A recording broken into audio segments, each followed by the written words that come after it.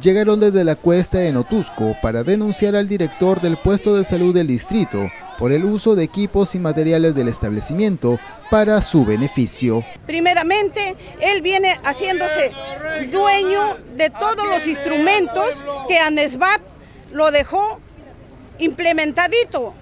ANESBAT dejó implementadito para odontología, más un médico odontólogo en el mismo puesto de salud, pero todo para su bolsillo, porque eso lo está destruyendo el puesto de salud. Este grupo de pobladores hizo un plantón en los exteriores de la Casa de Gobierno para pedir la destitución del responsable.